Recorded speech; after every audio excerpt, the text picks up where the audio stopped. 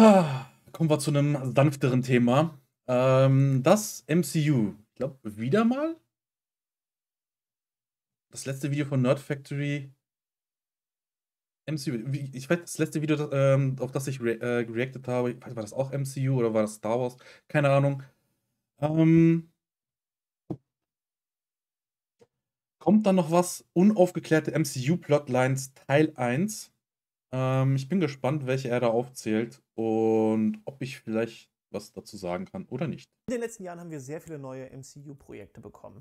Und einige davon hatten auch ähm, Post-Credit-Scenes, die meisten sogar. Und diese Post-Credit-Scenes kündigen. Und ich finde ich find, ich find schade, dass, dass äh, das Video wurde, ist ein bisschen e, früher aufgenommen worden, ähm, weil er mittlerweile hier ein Fuck-AfD-Schild äh, hängen hat. Also in, in, neuer, in neueren aufgenommenen Videos ähm, hängt da eine sehr gute Message. Liegt neue Storystränge mit den Figuren oder anderen Figuren an. Und die meisten davon führten bisher nirgendwo hin. Und viele Leute von euch fragen sich jetzt, kommt da überhaupt noch was? Und genau darüber wollen wir heute einmal reden, über fünf verschiedene Storystränge der letzten Jahre, die bisher nirgendwo hinführten und wo teilweise auch fraglich ist, ob überhaupt noch was kommt. Mein Name ist Luke, das hier ist Nerd Factory und wenn ihr Videos zum Marvel Cinematic Universe oder auch Star Wars mögt, dann abonniert doch jetzt diesen Kanal, liked das Video und schreibt doch unten in die Kommentare, oh Mann, das kann ja noch was werden mit Marvel. Wow. Danke an der Stelle auch an alle Kanalmitglieder und meine Patrons. Wenn ihr den Kanal noch supporten wollt, dann klickt jetzt unten auf Mitglied werden oder geht auf patreon.com nerdfactory und supportet diesen Channel. Und jetzt gehen wir rein in diese verschiedenen Plotlines, die noch nirgendwo hinführen. Ganz kurzer Disclaimer, es geht jetzt hier nicht nach Chronologie oder sowas, sondern einfach nur ein paar Dinge, die mir eingefallen sind, die einfach noch nicht wirklich irgendwo hinführen. Und zuallererst will ich da anfangen mit der Post-Credit-Scene von Shang-Chi und den Ten Rings, die ein mysteriöses mysteriöses Signal irgendwo hinsenden. La ja, ich erinnere mich dran. Mysteriöses Signal, die waren ähm, Kamatage, glaube ich. Ähm, Shang-Chi auch ein sehr, sehr geiler Film. Ähm, ich erinnere mich dran und der nächste Film oder einer der nächsten Filme war dann ja äh, Doctor Strange in, äh, in, in the Multiverse of Madness und obwohl die halt auch im, im, im Kamatage halt äh, aktiv waren, kommen die beiden nicht vor. Lange, lange dachten. Und ja, die, die war einer der besten Charaktere überhaupt. Wir, es ist ein Signal, das irgendwas mit Kang zu tun hat, was natürlich Sinn ergeben würde, denn in der Infinity-Saga hat so ziemlich fast jede Post-Credit-Scene irgendwie mit Thanos zu tun gehabt oder den, äh, irgendwie was auf dem Weg zu den Infinity Stones. Und hier haben wir eigentlich auch alle ähm, ja, äh, Dinge, die irgendwie in diese Richtung gehen können. Ja, wir haben die Sorcerer, die irgendwas Mystisches im Multiversum, im Universum, im Raumzeitkontinuum gespürt haben. Ja, sie haben gespürt, dass Shang-Chi zum allerersten Mal die Ringe eingesetzt hat. Sie setzen sich alle zusammen, treffen sogar andere Avengers wie eben Captain Marvel und auch Bruce Banner, die sich Gedanken und vor allem Sorgen machen darüber, dass die Ringe ein Artefakt sind, was sie gar nicht einordnen können. Sie wissen nicht, aus welcher Zeit oder Technologie oder Kultur generell. Es gab die Theorie, dass ähm, die zehn Ringe tatsächlich ähm, auf der Technologie von Kang basieren. Ähm, weil äh, die Technologie in Ant-Man and the Wasp Quantumania von Kang auch sehr viel mit Ringen zu tun hatte, zumindest halt die, die fliegende Stadt, die er hatte. Und das, äh, irgendwo habe ich auch mal gelesen, dass die Symbole gleich, ähm, sich sehr, sehr stark ähneln sollen. Also auf den Ring und auf den Ring der Stadt diese stammen. Als sie sie genauer analysieren, stellen sie fest, dass es ein Signal aussendet, doch ein Signal. Wohin? Viele Leute vermuteten ein Signal in den Quantum Realm, denn wir sehen ja, dass äh, auch Cassie Lang ein Beacon erstellt, was ein Signal in den Quantum Realm sendet. Doch diese Story führte ganz woanders hin und hatte überhaupt nichts mit den Ten Rings zu tun. Nein, die Ten Rings waren kein Bestandteil von Kangs Zeitmaschine, was irgendwie zerstört wurde und in verschiedenen Zeitsträngen gelandet ist, wie die Theorien damals besagten. Und die Ten Rings hatten auch sonst nicht wirklich was damit zu tun. Dann sehen wir natürlich zehn Ringe ebenfalls in The Eternals, die hier extra von äh, Fastos gemacht wurden, um ihre Kräfte zu verstärken. Stimmt, die Theorie gab es auch noch, dass, äh, dass das irgendwie zusammenhängt. Einziges Problem, diese sehen nicht nur anders aus, sie haben andere Insignien und andere Kräfte. Nein, äh, diese zehn Ringe haben auch keine weitere Bedeutung, außer dass die Eternals sich miteinander verknüpfen können. Sie augenscheinlich zumindest geben jetzt nicht äh, einem random Terroristen aus äh, dem alten China Superkräfte. Also auch diese Theorie hat zumindest bisher jetzt nicht wirklich Halt. Was ist das? Was ist mit den Ringen? Wieso ist das so wichtig, dass nicht nur der Sorcerer Supreme diese Leute hier gerade aus einer Bar entführen muss, um sich das anzuschauen, sondern auch äh, den Rest der Avengers, die aktuell scheinbar noch aktiv sind, zwei Leute, irgendwie zu kontaktieren. Warum ist das so wichtig, um diesen Videocall zu starten und so eine bedrohliche Stimmung aufzubauen? Aber jetzt haben wir schon seit drei, vier Jahren nichts mehr davon gehört. Und damit meine ich. Stimmt, Shang-Chi kam ja, glaube ich, 2021 raus, oder?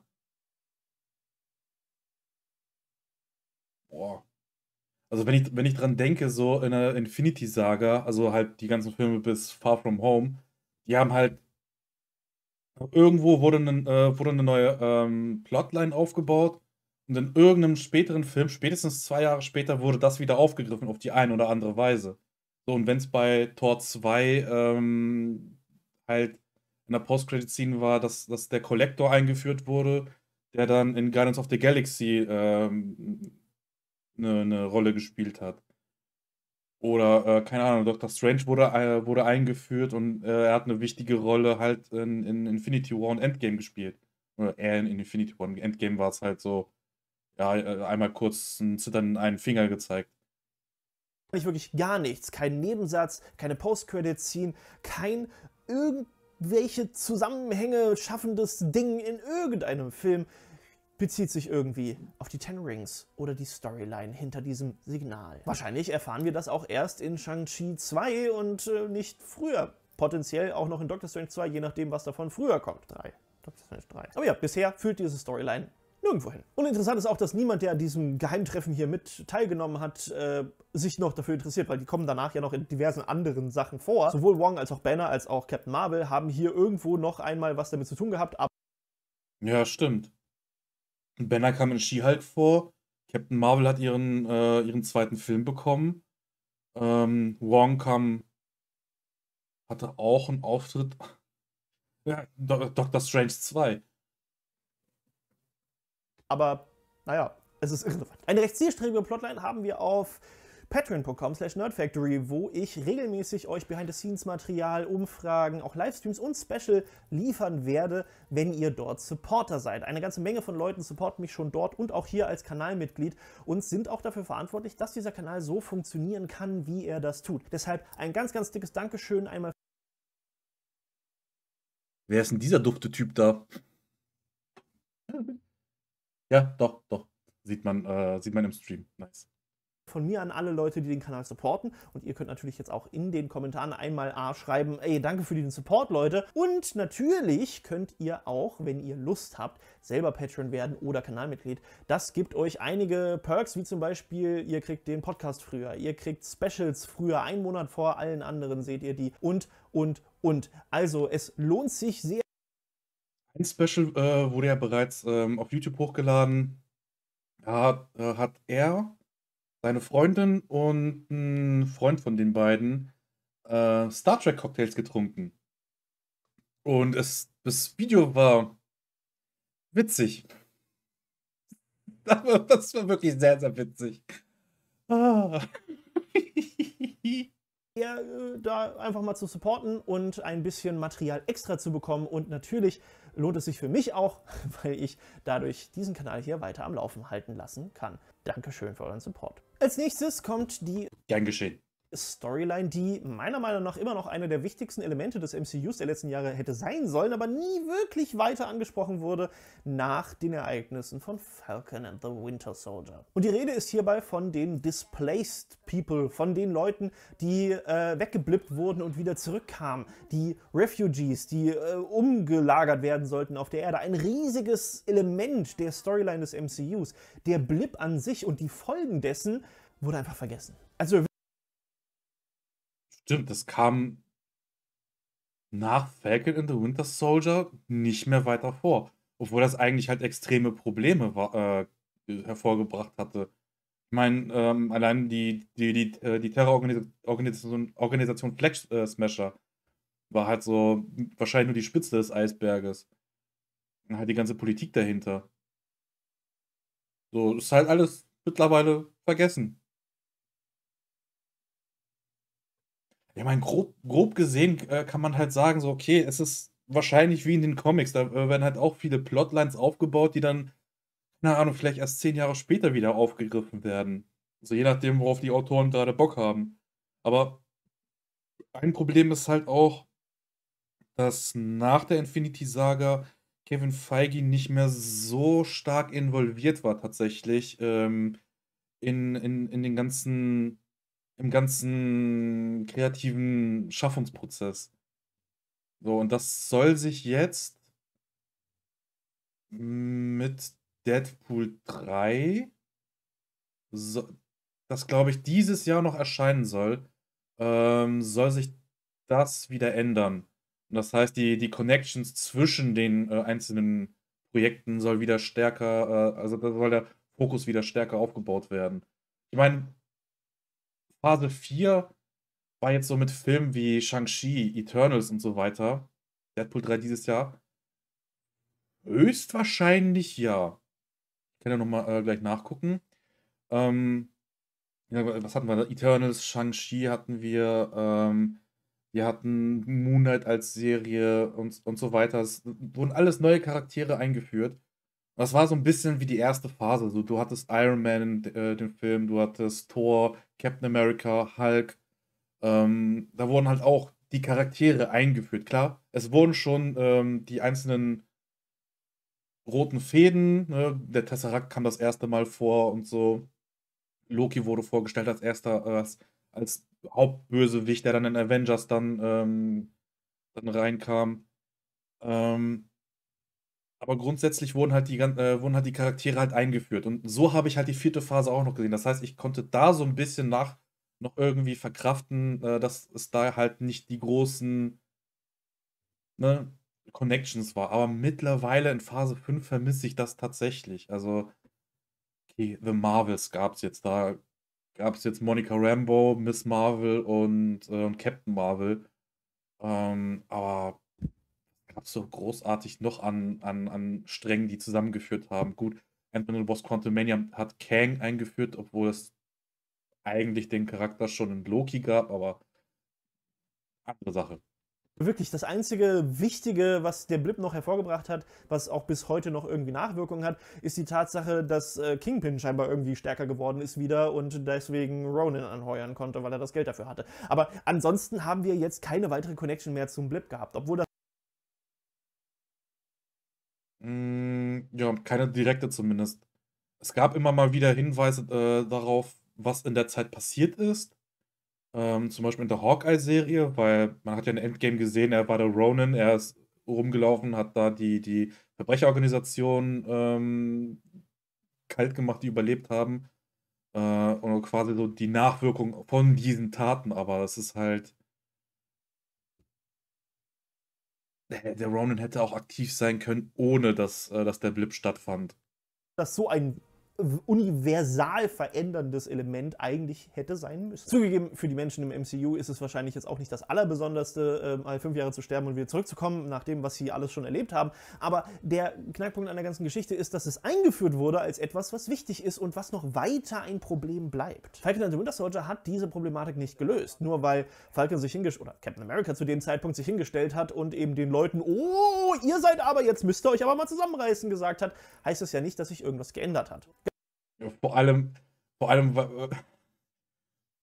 Vor allem, weil in, sowohl in diesem Universum als auch bei uns in der echten Welt es viele Leute gibt, die ein Problem damit haben, dass ein schwarzer Captain America ist. Obwohl das selbst in den Comics kein, ähm, keine neue Idee ist. Oder allzu neue Idee. Ganz im Gegenteil. Es ist auch aus unserer Welt eher bekannt, dass die Leute einfach weitermachen und denen das scheißegal ist. Die einzig weitere Referenz auf die GRC und die Pläne der GRC, der Relocation von den Leuten, äh, sehen wir auf einem Bus im Hintergrund in Moon Knight. Und das war's. Und auch, äh, ob in Captain America 4 das nochmal zur Sprache kommt, ist auch eine sehr große Frage, denn äh, ich wüsste gar nicht, wie das in diesen Plot noch reinpassen müsste, in dem es primär wahrscheinlich um Super Soldier-Serien gehen wird. Die ganze Problematik und äh, dieser Terroranschlag und dieses Untergrundnetz, was irgendwie sich für diese Flüchtlinge einsetzen soll, das sind alles Dinge, die wir danach nicht nochmal gesehen haben. Und Dann schon mal halt auch ähm, äh,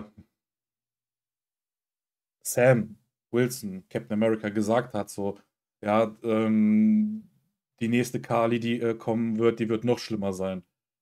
So, das ist schon so, so ein Hint darauf, okay, irgendwas ist da vielleicht noch im Hintergrund. Und auf einmal nicht mehr? Hm. Wir müssen da uns nochmal in Erinnerung rufen, wann die verschiedenen Dinge spielen. Ja, also Falcon and Winter Soldier spielt sechs Monate nach dem Blip, ja, sechs Monate nach Endgame. She-Hulk spielt Jahre danach. She-Hulk spielt Sechs Monate nach dem Blip, also ungefähr zu der jetzigen Zeit tatsächlich. 2025 und das andere ist 2023. Also es sind sehr, sehr viel, sehr, sehr viel Zeit vergangen, ohne dass irgendwas augenscheinlich passiert ist in diese Richtung. Dinge, die schon hätten passieren müssen. Und jetzt ist natürlich die Frage, wann spielt jetzt Captain America 4? Spielt das 2027? Sehr wahrscheinlich, 26, 27. Oder gehen wir wieder zurück in der Zeit und spielen dann kurz nach den Ereignissen von äh, Falcon und Winter Soldier? Bisher keine Ahnung, sieht so aus, als ob dieser Plot nirgendwo hinführt. Ein deutlich jüngerer Plotpunkt ist die äh, Storyline, die wir am Ende von Secret Invasion sehen. Denn ja, die Skrull mhm. haben nicht nur die Erde infiltriert und äh, hier und da einzelne Gruppen versucht, die Erde sogar zu übernehmen und von Menschen zu clearen. Nein, der Präsident der Vereinigten Staaten hat aus irgendeinem Grund, der nicht wirklich erklärbar ist nach den Ereignissen, die wir in der Staffel und vor allem in den letzten Folgen sehen, äh, allen Aliens auf der Erde den Krieg erklärt. Der Präsident der. Vor allem allen Aliens. Und das ist halt der Punkt, nicht nur den Skrulls, ähm, die halt einen Anschlag auf ihn äh, verübt haben, obwohl auch ein Skrull sein Leben gerettet hat. Äh, wieso dann generell? Aber gut. Vielleicht ist das so ein, so ein Trump-Präsident. Ähm, aber halt allen Aliens, das bedeutet halt auch, ähm, die Asgardianer, die sich in Norwegen niedergelassen haben. Ähm, ich überlege gerade, gibt es noch andere Aliens, die mir gerade so bewusst bekannt sind? Also ich weiß, dass mit, mit Saber noch einige andere äh, Alienrassen zusammenarbeiten. Ähm, aber ja, ist cool. Also selbst Leute, die halt einfach nur irgendwo ihr, äh, ihre Stadt haben und keine Ahnung, von Tourismus leben. Ja, scheiß drauf. So, hey. Ja, gut, ist America. USA, aber natürlich für Amerikaner ist das der Präsident der Welt immer schon gewesen. Das bedeutet, das betrifft nicht nur die Skrulls, sondern eben auch die Leute von Asgard, die auf der Erde hier Zuflucht gefunden haben. Alle Kree, die irgendwo noch versteckt rumlungern und äh, Stimmt, es gibt auch Kree, die aussehen äh, wie Menschen. Stimmt. Einfach die Tatsache, dass auch halb Saber aus Aliens besteht, die hier arbeiten und wahrscheinlich Mindestlohn bekommen. Es ist eigentlich ein sehr wichtiger Punkt, der für sehr viele Leute relativ äh, wichtig werden könnte, aber wie wir schon im nächsten Film danach gesehen haben, nicht nochmal erwähnt wird. Denn genau das ist der Punkt. Die Saber Station ist komplett davon gefüllt, von Aliens, aber äh, hier wird niemand erschossen der gerade in New York landet. Und äh, es ist auch vollkommen normal, dass auch einfach mal wieder hier Aliens rumfliegen und rumdüsen äh, und dass äh, auch ein Raumschiff einfach mal abstürzen kann oder eben diese Shuttles von der Saber Station und so weiter und so fort. Wir sehen. Ja, ja, das sind so. Also, es wäre irgendwo dann lazy writing zu sagen, hey, wir befinden uns in einer Multiverse-Saga. Einzelne Projekte, die stattfinden, spielen in unterschiedlichen Universen. Das heißt, das, was, in Secret Invasion passiert ist, ist nicht das gleiche Universum äh, wie das, was in The Marvels passiert ist.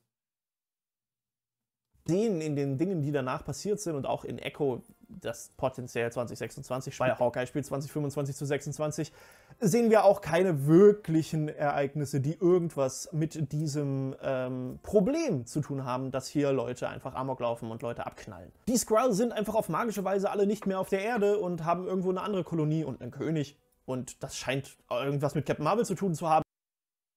Ja, wobei das können halt auch unterschiedliche Siedlungen oder Kolonien sein. Also es kann halt sowohl auf der Erde was geben und irgendwo auf einem anderen Planeten. Das, das, das finde ich jetzt nicht so ganz unlogisch. Also die war zwischendurch da und hat die mitgenommen, keine Ahnung.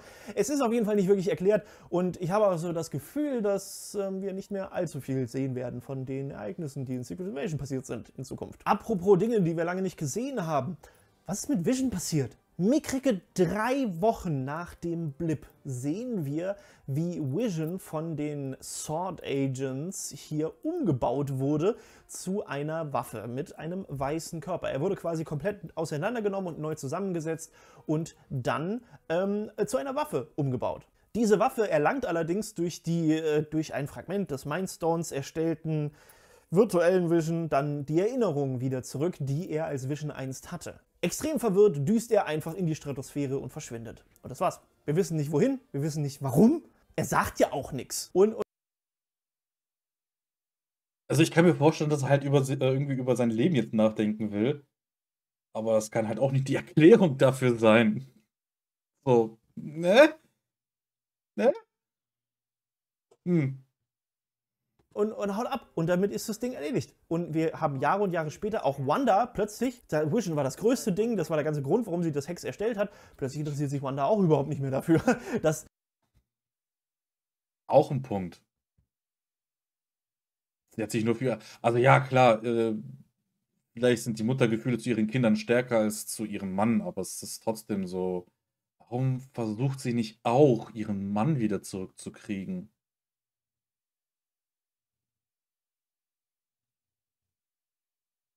Wobei ich überlege gerade, das Universum, äh, in das Wanda eigentlich eindringen wollte, das ist ja das ähm, MCU 838. Ähm, das ist ja das mit den, äh, mit den Illuminaten, also wo halt auch ähm, Mr. Fan also die Fant äh, Fantastic Four da sind, die X-Men und so weiter. Ähm, da kann ich auf jeden Fall verstehen, dass es kein Vision dort gibt, weil Vision entstand ja äh, aus, ähm, aus der Idee von Ultron, einen perfekten Körper zu haben, mit dem man die Menschheit vernichten kann. Ähm, und in dem Universum hat ja äh, das Ultron-Projekt funktioniert. Dieser Typ irgendwo da oben noch ist. Nee, nee, da geht es jetzt erstmal nur um ihre Kinder im Multiversum. Vision spielt plötzlich keine Rolle. Zugegeben, wir bekommen ja potenziell eine Serie namens Vision Quest und die Serie äh, über Wonder Man, der ja in den Comics sehr stark mit Vision zu tun hat, wird.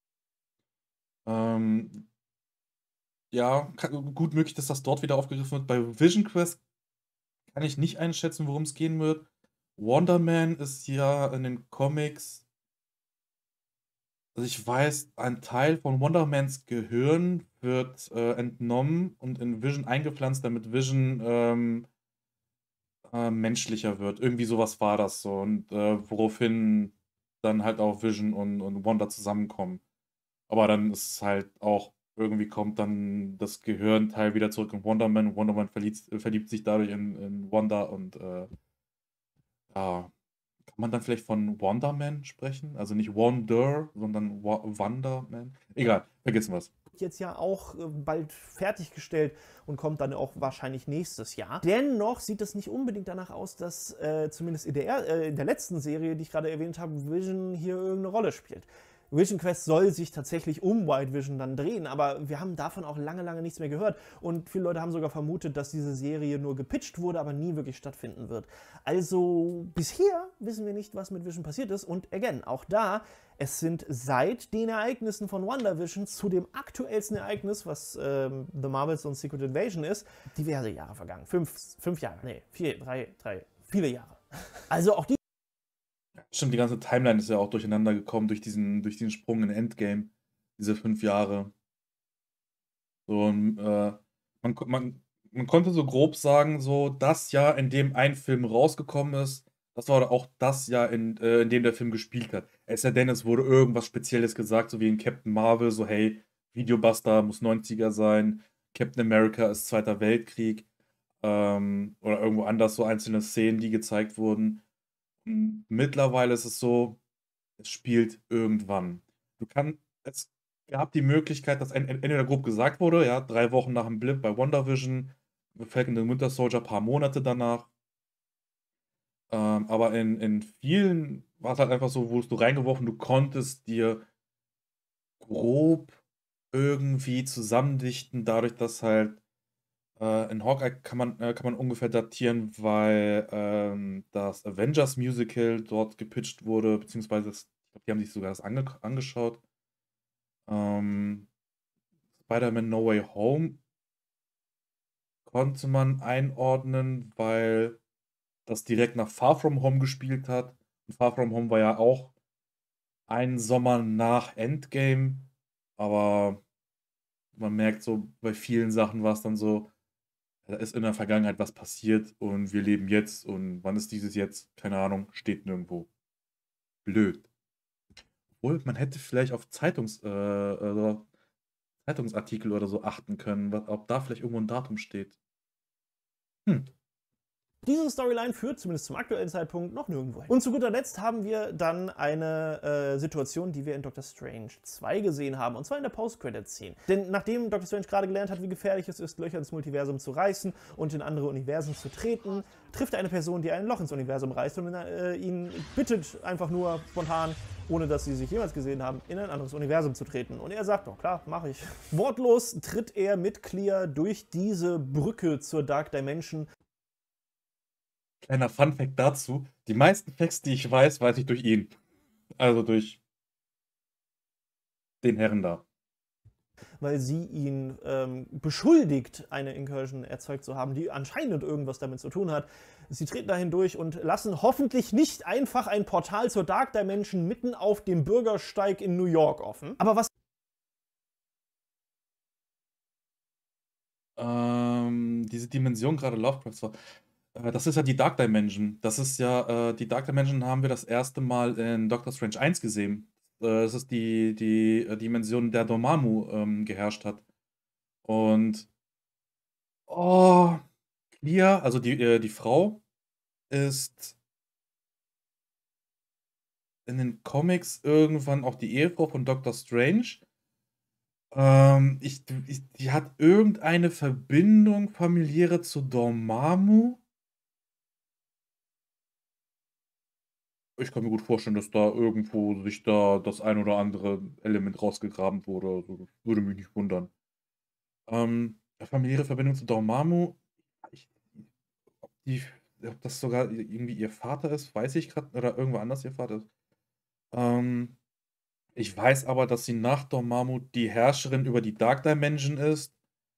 Und es gab auch die Theorie, dass die Dark Dimension eigentlich auch aus irgendeiner Incursion, also ne, einer, einer Universumsvernichtung ähm, entstanden sein könnte. Auf die eine oder andere Weise.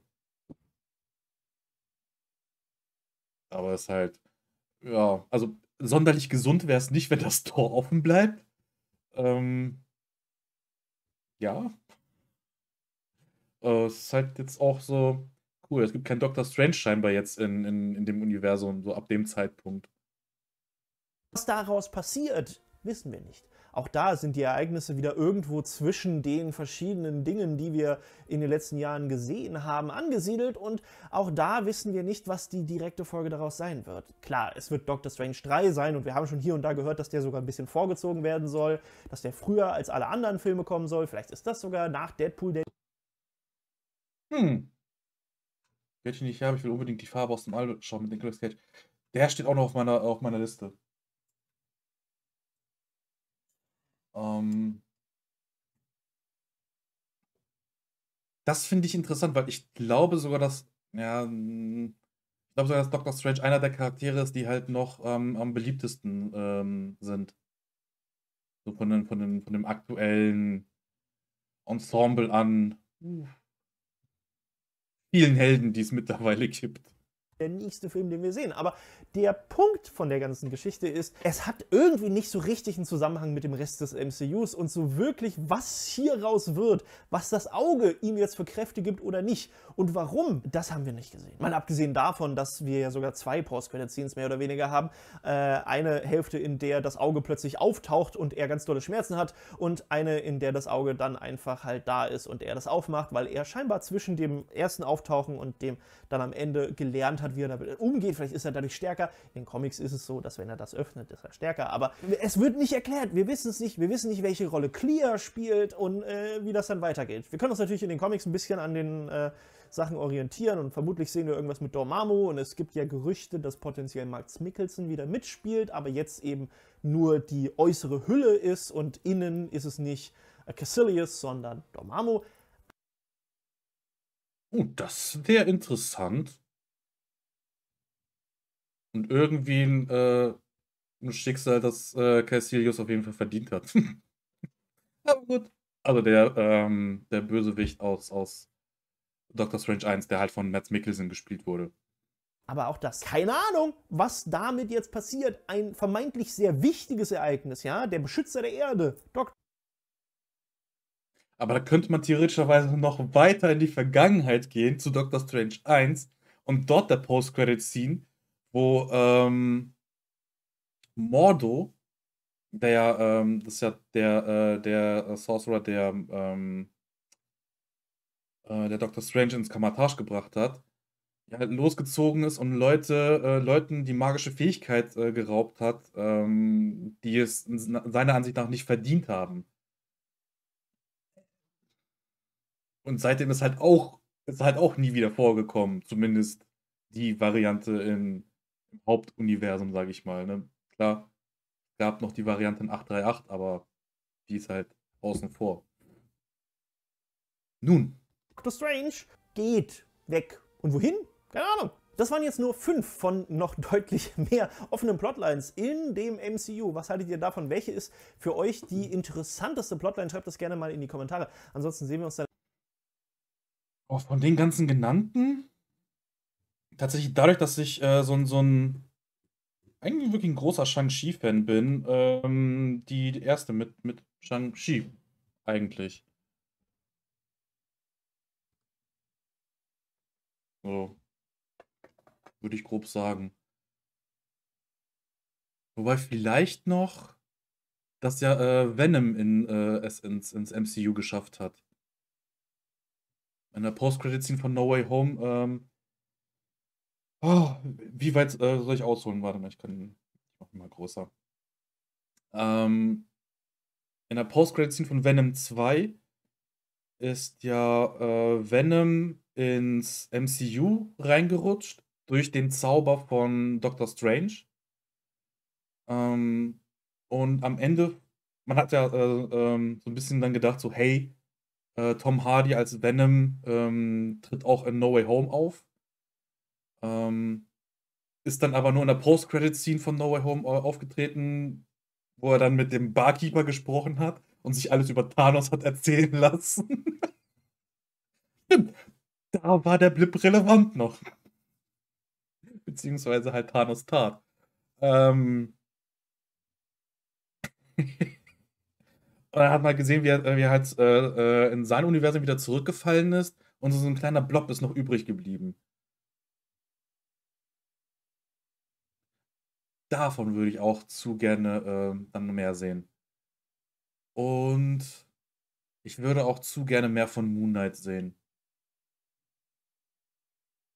Ja, zu Moon Knight würde ich. Äh, oh, ich, ich liebe Moon Knight einfach.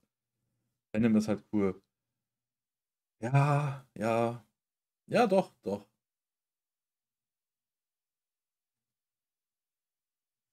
Ich bin, ich bin da auch sehr gespannt auf, äh, auf ähm, Deadpool 3. Also es gibt da Theorien, ähm, dass es, äh, dass es mehrere,